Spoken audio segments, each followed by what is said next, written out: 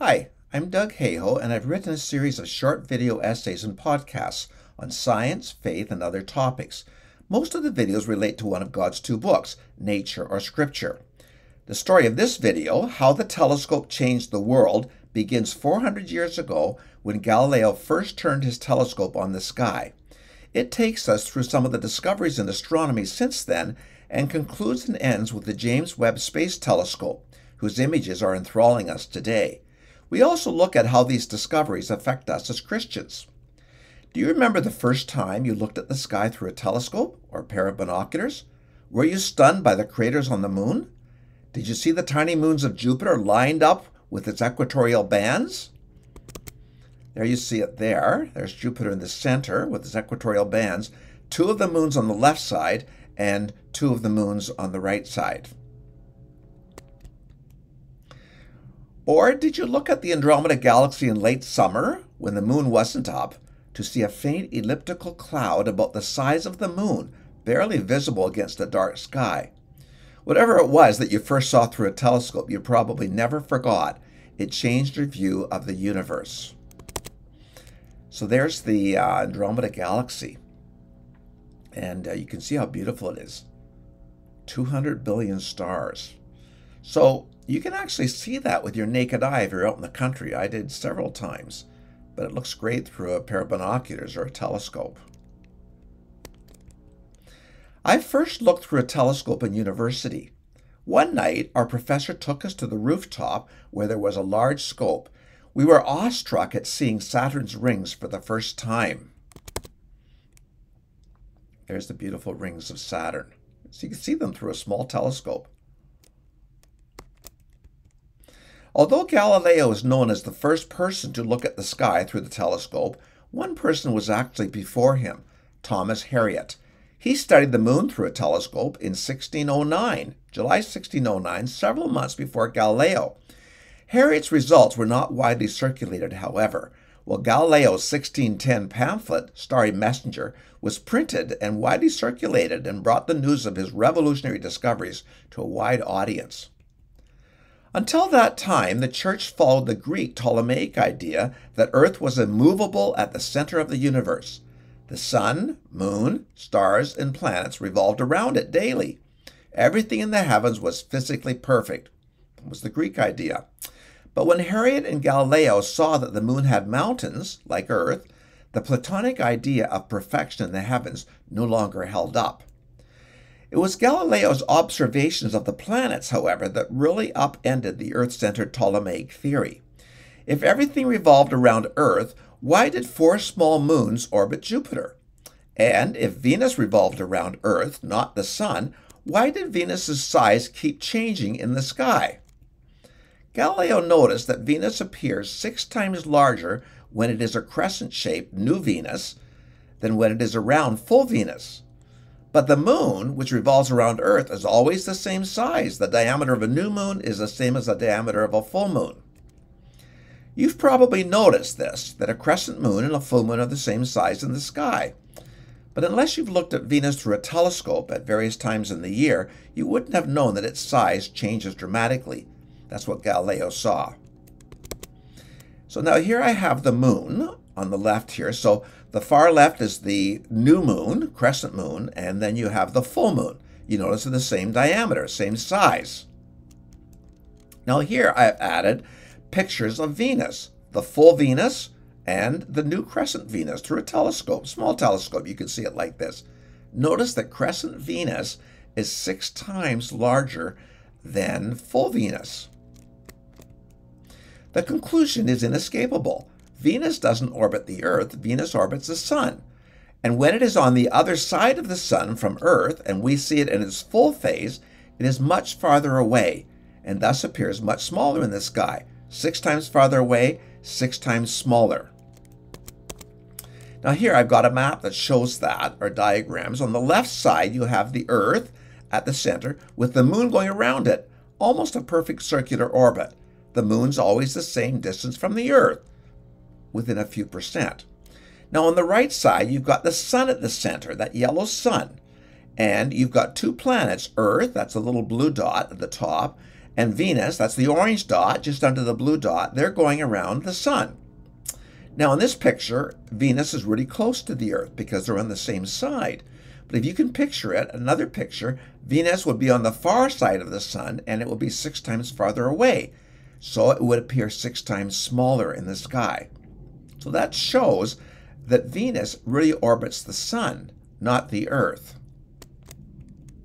It's difficult to overemphasize how much the sun centered Copernican theory, which Galileo supported, changed our view of the universe and our place in it. Earth was no longer the center of the universe, it was merely an average sized planet orbiting an average sized star, the Sun. In the following centuries, the universe was opened wider and wider as telescopes became more and more powerful. Although Galileo rejected the Church's view of the universe, however, he never rejected the authority of the Bible.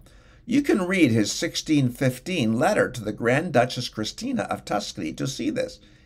The web link for it is in my written essay on the same website. Galileo's 1609 telescope was built using two lenses that refracted the light from stars so that it converged at a focus. Refractor telescope. In 1668, Isaac Newton, who based his universal law of gravitation on Galileo's discoveries, used a lens and mirror to build a reflecting telescope. It was still small, however, with a mirror diameter of only 1.3 inches, but it was soon improved on. In 1721, John Hadley used a better parabolic mirror to construct a reflector telescope with a mirror diameter of six, six inches. In the 18th and 19th centuries, telescope building took off in many countries.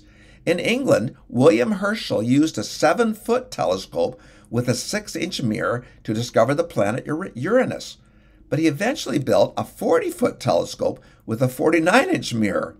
His sister Caroline and son John helped him discover and catalog thousands of nebulae.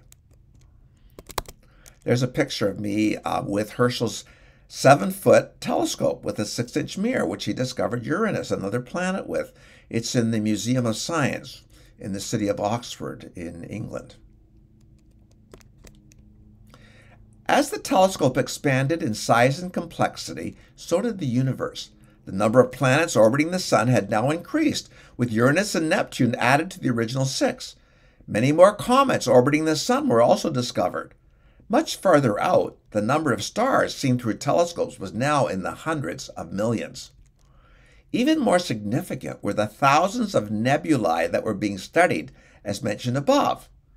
People thought they were clouds of gas. It was only later that they were known as galaxies, island universes of stars. So here's one uh, discovered and seen and drawn using Lord Rosse's telescope in the middle 1800s. In the 20th century, telescopes were built on the top of Mount Wilson and Mount Palomar in California, with mirrors that measured 100 inches and then 200 inches in diameter. Working with these, Edwin Hubble expanded our understanding of the universe almost beyond imagination. For he discovered during the years 1924 to 1929 that a large percentage of the nebulae that had been carefully cataloged over the previous century were not nebulae in our galaxy at all, there were other faraway galaxies with as many stars in them as our galaxy, the Milky Way, had. Suddenly, the universe had expanded from being one galaxy with billions of stars in it to having billions of galaxies in it, each with billions of stars. You can see my essay, Measuring the Universe, for more information on this. Now, my mother was at McGill University in the 1930s. For a student job, she helped her professor, the astronomer Vibert Douglas, in her research on stellar spectra. She was the first woman astrophysicist in Canada, Vibert Douglas. So my mother was helping her. Now, since my mother was a devout Christian who helped lead the InterVarsity Christian Fellowship group at McGill, I wondered how did she adapt to the reality of a universe that had suddenly expanded by a thousand times? My eldest sister Doris, it turned out, had kept her diary. When we looked at her notes for those years, my mother's notes, there was no indication of conflict. She loved nature, God's creation, and accepted fully what it revealed through science as she was learning about the universe expanding immeasurably. She also loved the Bible and what it taught us about many other truths. Now, since 1975, hundreds of telescopes have been put into orbit around the Earth. Gamma ray telescopes, which detect gamma rays given off by supernovae and black holes. X ray telescopes detect X rays from gal- galactic clusters and supernovae. Ultraviolet telescopes detect ultraviolet light given off by the sun, stars, and galaxies. The Hubble telescope captures ultraviolet, visible, and near infrared light, while the James Webb Space Telescope specializes in observing near and mid infrared light. Now, the Hubble's mirror is only 94 inches in diameter, while Mount Palomar's mirror is 200 inches. But Hubble is above our atmosphere, so it's actually much more powerful. Thousands of spectacular Hubble pictures are available on the ESA and Hubble website. You can go to the Astronomy Picture of the Day website, APOD, Astronomy Picture of the Day, and see many other photos. And you can see my written essay for the website links. Now, here's an amazing picture taken from the Hubble telescope. This picture is not of stars. All these tiny things, if you can look at them up close, are galaxies. They counted about 10,000 galaxies in this picture from the Hubble Space Telescope. The James Webb Space Telescope was an incredible engineering feat. It consists of 18 different hexagonal mirror segments, all directed towards one focus, so that its light gathering power is six times that of Hubble. It was placed in a particular orbital spot, far from Earth and Moon, so that its orbit remains stable. The best way to benefit from the remarkable photos taken by the James Webb Space Telescope and by Hubble is to explore the Webb galleries maintained by NASA. Here's just one of those amazing photos. These are gases, uh, star forming gases. Just an incredible, uh, beautiful photo. You can look at thousands of others.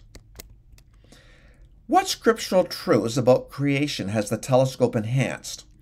As I've reviewed hundreds of Hubble photos over the past 34 years, I've often been surprised at the beautiful diverse colors and mysterious shapes of the objects we see in space, like we just saw in that last photo. At the same time, I know that these faraway objects in the universe usually follow the same laws of physics as apply here on Earth. The universe demonstrates a unity. That's why it's called a universe. This only confirms my convictions that God has ordained a wonderful balance of unity and diversity in his running of the universe. Think of the incredible diversity as well as the unity. For those of us Christians, this reflects back on the unity and diversity that exists in the triune Godhead. Always existed, Father, Son, and Holy Spirit, an eternity of time before the universe ever existed. The Irish poet Gerald Manley Hopkins once wrote, The world is charged with the grandeur of God. After looking at the Hubble and James Webb Space Telescope photos, we can paraphrase this. The universe is charged with the grandeur of God. The scriptures teach that the universe reveals God's greatness, Psalm 8, God's glory, Psalm 19, God's power, Isaiah 40, infinite wisdom, Psalm 147, and God's divine nature, Romans 1. The remarkable telescopic discoveries only enhance these truths. Another truth I see, implied by humans enjoying these telescopic photos, is that of, quote, the joint personhood of God and mankind. The joint personhood of God and mankind. Let me use a diagram to show you what I mean by this phrase. So there we have a personal God and a powerful God. Powerful, personal God, infinite personal God. Powerful God, infinite God, he creates these immense galaxies, billions, hundreds of billions of galaxies. Personal God, he creates human persons like ourselves that we can appreciate these galaxies.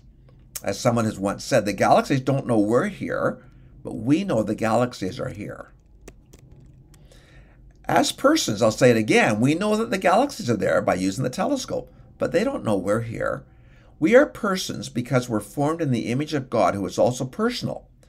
But persons are meant to be in a relationship with each other, a relationship in which we can share God's thoughts about what He has created, about the galaxies. How unique is that? In the appendix to my written essay on this website, you'll find suggestions about buying a reasonably priced telescope. There are also suggestions about an excellent book to purchase and good software to use if you're interested in becoming an amateur astronomer. Thank you.